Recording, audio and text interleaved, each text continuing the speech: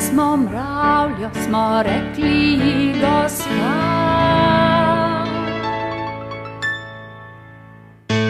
Ker takšne dolge noge ima, pa z njimi pleše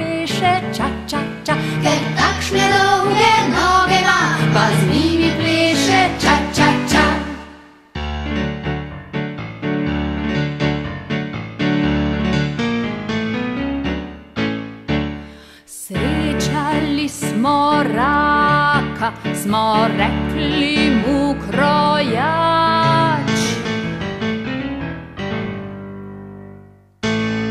Ker takšne lepe škarje ima, pa z njimi dobro rezati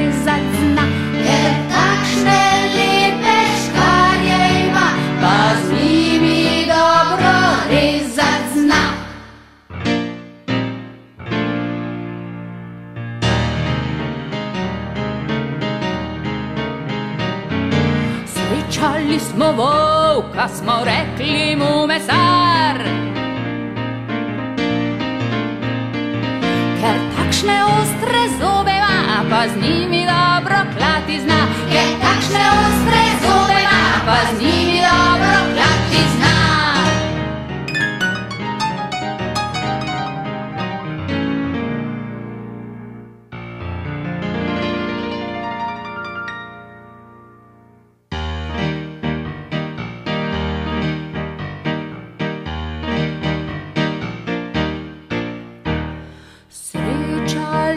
smo kozla, smo rekli mu kuhać.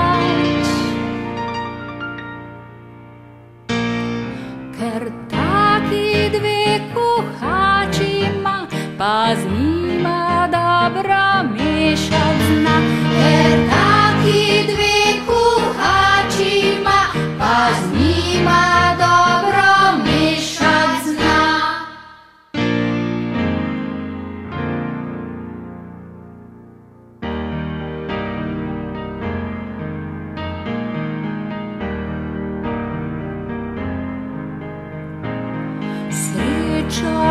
Srečali smo polža, smo rekli.